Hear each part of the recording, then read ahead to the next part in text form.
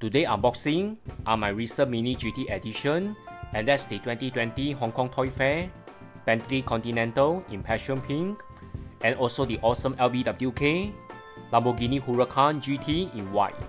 This is the second variant in white. The very first was red, which was highly popular among collectors. There's also going to be a third variant, which is in yellow. And now let's take a closer look at the Hong Kong Toy Fair 2020 Bentley Continental in passion pink. Box wise is in full black.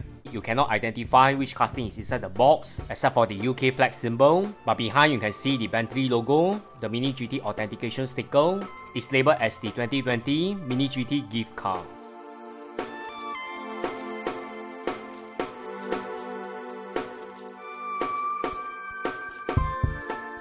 Wow, very nice body color in passion pink. Looks great. You can see the 2020 Mini GT livery that's plastered across the body tastefully. Full black wheel set, which is very cool with the Bentley logo, which I'm delighted that it rose extremely well.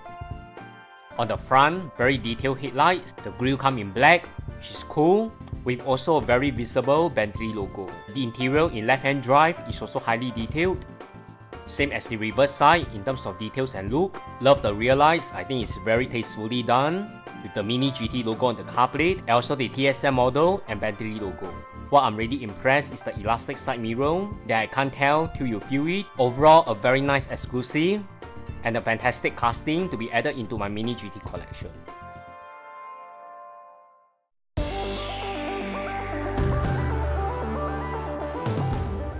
Next, the LBWK Lamborghini Huracan GT in white. Box design is very unconventional, unlike the rest of the Mini GT mainline release. That's the LB Silhouette Works GT logo tag on the top. On the side is the Lambo logo and the Mini GT logo. At the back includes the Lamborghini license sticker and the Mini GT authentication sticker. Please do note that it's a right-hand drive casting.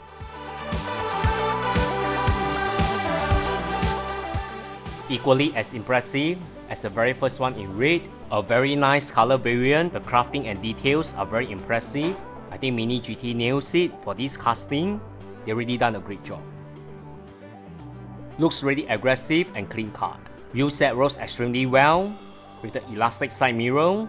I really like the gunmetal combination with the high gloss white body color. The rear is tastefully done.